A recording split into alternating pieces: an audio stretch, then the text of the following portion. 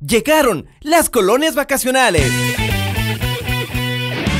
Concursos de artes plásticas, teatro, danza, baloncesto, banda juvenil, natación y fútbol sala desde este 21 de julio.